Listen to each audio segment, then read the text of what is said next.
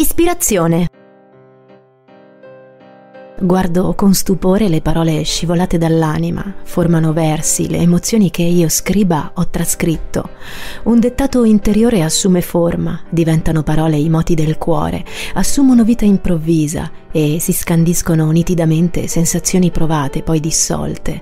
Non abbandonarmi, esile musa, da quando ti ho incontrato ho ripreso ad inventare, giorno dopo giorno, la mia vita.